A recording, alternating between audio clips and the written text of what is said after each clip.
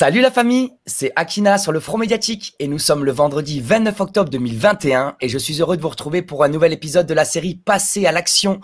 Et pour ce deuxième épisode, nous, allons, nous avons la chance de rencontrer des acteurs de terrain, des gens qui agissent sur le terrain et nous allons en direction d'Annecy. Nous avons la chance d'accueillir Isabelle, Sandrine et Claude. Bonjour à vous. Bonjour. Bonjour. Bonjour. Bienvenue et cette série, j'ai la chance de l'animer avec Daniel, voilà, euh, qui fait partie aussi, entre autres, du collectif Réseau de Solidarité Active. Bonjour Daniel. Bonjour Akina, comment vas-tu?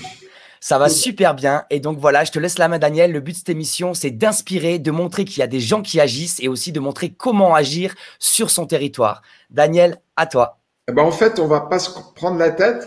Moi, je suis à la fois un animateur de RSA au niveau national, donc j'ai une vue très globale de ce qui se passe dans toute la France et, c'est très intéressant de, passer euh, euh, du RSA de Brest au RSA de Nice, euh, du RSA de Bayonne à celui de Strasbourg. Il n'y a pas de problème, c'est des choses que je fais tous les jours et, et c'est très passionnant. On voit les mêmes choses et on voit des choses différentes à chaque fois.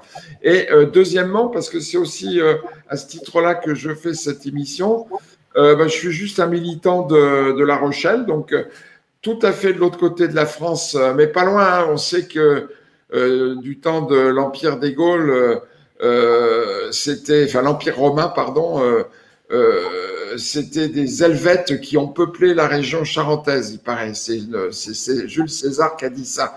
Donc il y a des liens entre la, la Savoie et, la Charente-Maritime. Donc euh, je vais aussi parler de, à partir de ce que je fais moi dans, ma ville, parce que c'est ça qui est important, c'est le local, qu'est-ce qu'on fait sur le terrain? Voilà.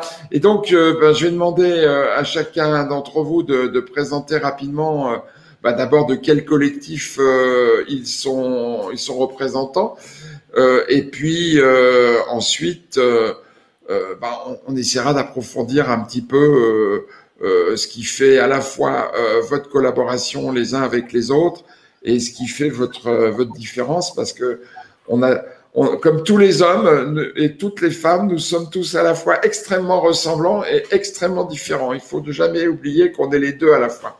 Voilà. Eh bien, euh, puisque c'est Isabelle qui est en premier, ben, je lui demanderai de, présenter un peu qui elle est et le collectif dans lequel elle représente.